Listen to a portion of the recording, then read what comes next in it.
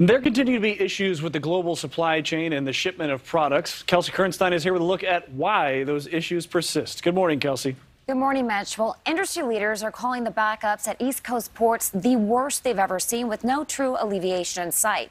In fact, there's backups of dozens of container ships off the ports of New York, New Jersey, Houston, and Savannah, Georgia. Industry leaders blame the congestion after U.S. importers avoided West Coast ports after bottlenecks and major strikes, rerouting to the East Coast. But now the traffic is so bad on the East Coast, the queue is about 20 vessels at the port of New York and New Jersey. In Savannah, there's about a 40 container wait. In fact, in the first five months of this year, the ports of New York and New Jersey saw a 12% increase in loaded containers.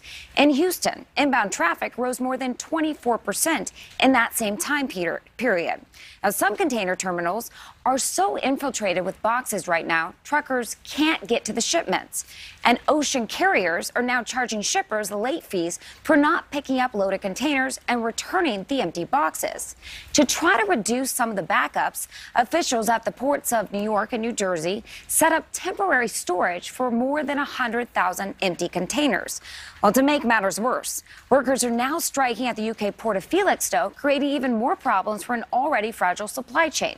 Shipping companies are trying to reroute around the port, but it will only cost more money and time, ultimately creating higher costs for consumers. And this all comes right before the holiday season. Thank you for watching. Go to newsnationnow.com to find News Nation on your television provider. And don't forget to click the red subscribe button below to get more of News Nation's fact driven, unbiased coverage.